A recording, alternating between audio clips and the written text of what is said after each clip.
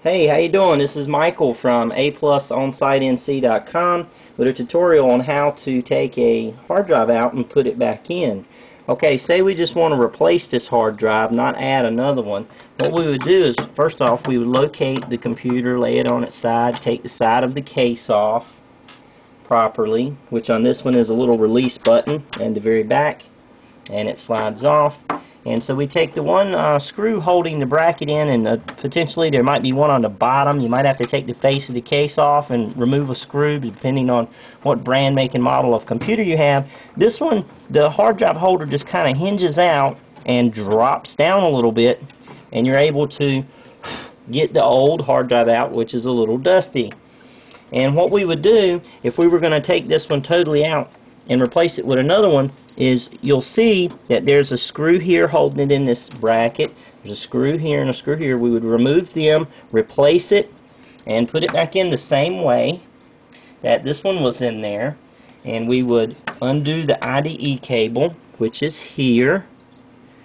And we would re-jumper to drive. This one's mastered. And we would unplug and plug the power, which is keyed. This is a mo Molex uh, connector here and we would reconnect the power, rejumper the new drive, put the IDE cable back on properly. Notice these little tips on the little bracket here for the hard drive. We would reinsert it, put it in,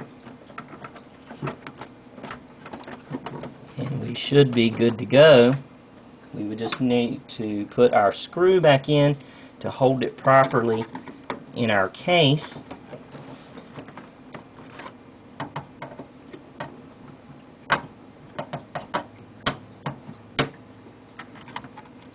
which is sometimes easier than said.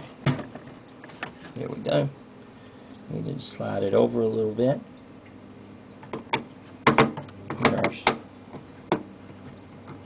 Retaining screw to hold this bracket in. Voila. Now you've uh, put your hard drive in, you'll need to reinstall your operating system on your new hard drive or transfer any data onto this drive after you get Windows reinstalled from your old one. Thank you for watching our tutorial on how to remove and reinstall a hard drive.